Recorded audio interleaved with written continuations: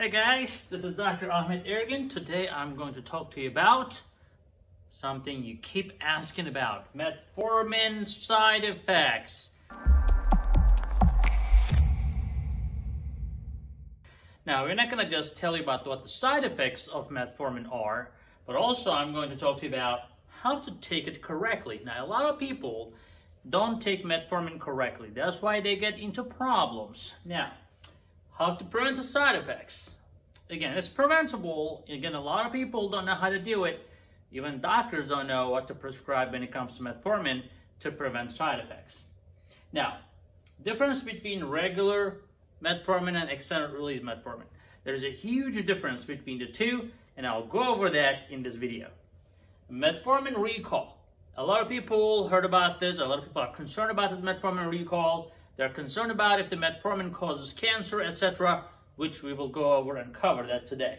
And then we are going to talk about, finally, about the use of metformin in PCOS and prediabetes, which I've been getting a lot of questions from you guys. Let's get started. All right, so metformin side effects, what are they? Of course, the most common one that everybody I wouldn't say everybody, but a lot of people complain about is diarrhea, gastrointestinal side effects, stomach side effects. Some people may have gas, some people may have uh, diarrhea, abdominal pain, all sorts of problems. Now, those are the common problems with metformin. Uh, what, uh, what other things can you expect from metformin? Now, Met, I mean, like any other drug, you can get an allergic reaction to metformin. You can develop a rash to metformin. Some people even get a chest pain from metformin.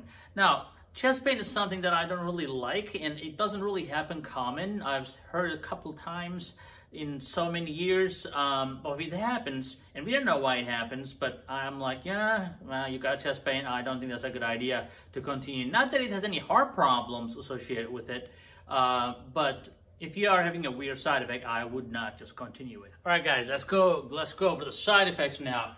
Now, metformin has a lot of side effects. Now, the most common side effects are gastrointestinal. Okay, so I'll go over that in detail, but if you want to summarize, let's start with the gastrointestinal side effects, which are stomach and intestinal side effects. So you may have diarrhea, you may have loose stools, you may have um, you know, abdominal pain, uh, bloating and gassiness and all sorts of crazy side effects with metformin.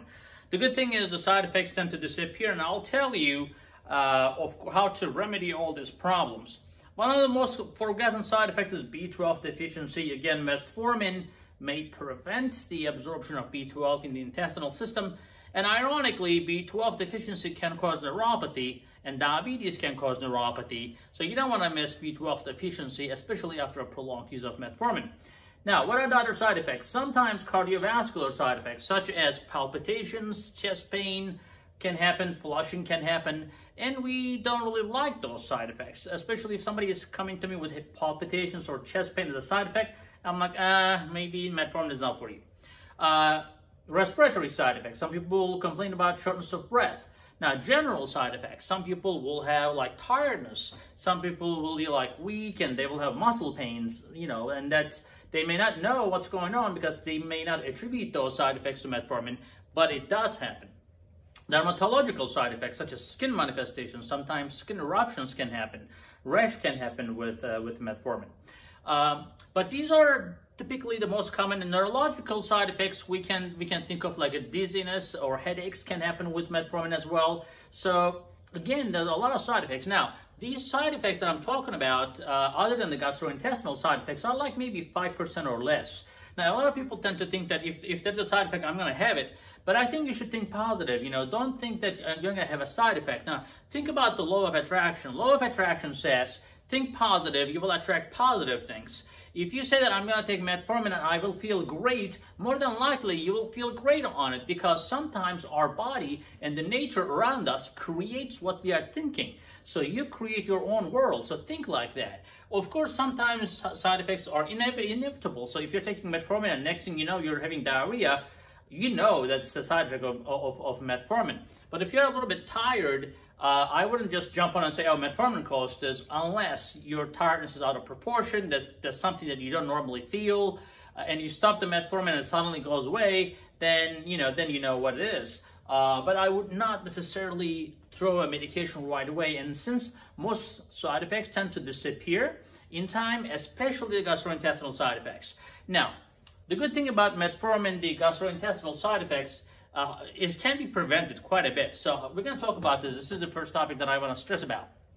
Most people do not take metformin correctly, uh, and and the reason for that is like doctor prescribe, uh, let's say a thousand milligram twice a day regular metformin. Oh my God, that's like a, worse than a suicide. Of you, hundred percent. If you prescribe 100 milligram, I mean 1000 milligram metformin twice a day, 100% you will get diarrhea. The very rare people will will not have diarrhea. So the way to start is, is starting very small, like 500 milligram. Uh, and then another important thing is to start with your dinner and always take it with meal. If you take it empty stomach, you're going to be in trouble. So take it with meal, start with dinner, take it for a week and see how it goes. And if everything is good, you don't feel bad, no side effects, then maybe you can start 500 milligram twice a day. And again, with meals. And maybe you can start with the breakfast and dinner this time. Another important thing that's uh, forgotten all the time, yes, I know metformin is free at Publix in the United States, but that doesn't mean that free is good for you all the time, right? So extended release formulation has four times less side effects. So when it comes to diarrhea and bloating and all that, metformin extended release, which is metformin ER or XR, whatever your pharmacist has, has much, much less gastrointestinal side effects than a regular metformin. So if you think that you want to be on metformin, you want to stay on metformin, start with extended release. I mean, you can, you can, you can, if you have the guts, you can say, oh, I, uh, my guts are good, so I will just go with the regular metformin since it's free. And if I have a problem, then I'll, I'll, I'll go for extended release. Well, let me tell you guys, I don't have that kind of time. If I was diabetic, I wouldn't just mess around with it. Uh, but if you want to save a couple bucks, that's okay. You know, try regular metformin, see how it goes. Start with small dose and advance slowly. That will do it. Now, the maximum dose is typically around 2,000, 2,500 milligram of metformin. Not that you have to go to maximum dose every time. I, I would say the maximum dose is the dose that you can tolerate. So just because you want to go to 2,500 milligram, you don't want to really push it to a point where you cannot tolerate anymore. So again, to summarize, guys, Start slow, start with meals, start with dinner once a day only, and then advance to twice a day, maybe 500 milligram twice a day, and then advance to maybe a thousand milligram twice a day. Now, quick caveat for you. In the United States, again, I'm not talking about Canada. I have, we have a lot of uh, um, uh, followers from Canada and, and UK and rest of the Philippines, the rest of the world. Sometimes I get upset when I don't say anything about that. So problem is I live in the United States. I have no idea what's going on in those countries, so I apologize for that. Uh, but the bottom line is metformin extended release is generic, okay? But it comes in generic only in 500 milligram in the United States. So 1,000 milligram is not really generic yet. Uh, or even if it is generic, I think it's generic, but it's still kind of expensive. So we end up doing like maybe uh, prescribed 500 milligram tablets and then we sometimes tell them take two tablets twice a day. And that's sometimes easier anyways because metformin tablets are kind of big, you know, a lot of people have trouble uh, taking that down. So, I mean, you know, you can think about that as well. As a clinician, you know, really, I have to think about everything. Just prescribing a medication and sending patient home does not necessarily solve the problem. You need to make sure that the patient is comfortable. You need to make sure that patient can take the medication. That's all. That's that's what the, what a doctorship is about. You know, that's how a doctor should treat their patients. So, how to prevent side effects. Now, of course, you know, we discussed about this, you know, take it with meal, uh, use extended release metformin, um, and the difference between the regular and extended release, we already jumped to that topic as well. Again, extended release is much, much, much better. Now, B12 deficiency. Now, what you do with that? So basically, you just have met B12 checked maybe once a year or so uh, or every other year, it's not really, your B12 levels are not going to drain very quickly because B12 is a stored vitamin.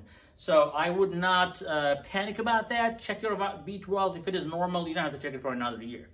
Um, but B12 is very easy. You can take um, you can take a B12 um, you know supplement if you're deficient. Uh, if you have pernicious anemia, you can take an injection. Now, recently there was a metformin recall. Now, with the metformin recall, uh, I wouldn't worry about this too much because when, when, when there's a drug recall, they're going to let your pharmacy know, and pharmacy will call you. Now, metformin recall does not mean that they recalled all the metformin in the world. No, that's not true. some metformin brands, again, there's like a God knows 20, 30, 100 brands out there that make metformin because it's the most commonly used medication in the market right now. So uh, some of the companies screwed up and FDA figured that out very quickly uh, and they said you had to pull that drug immediately.